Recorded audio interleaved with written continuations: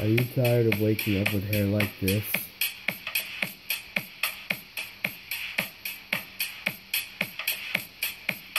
Then maybe you should try this amazing product, Moco de Gorila.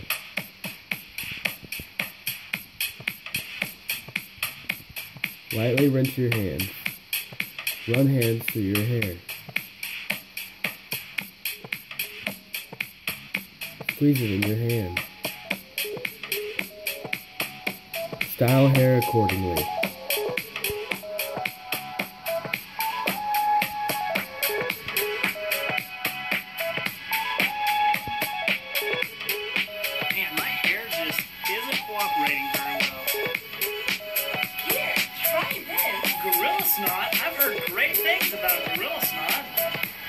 Wow, that stuff really works.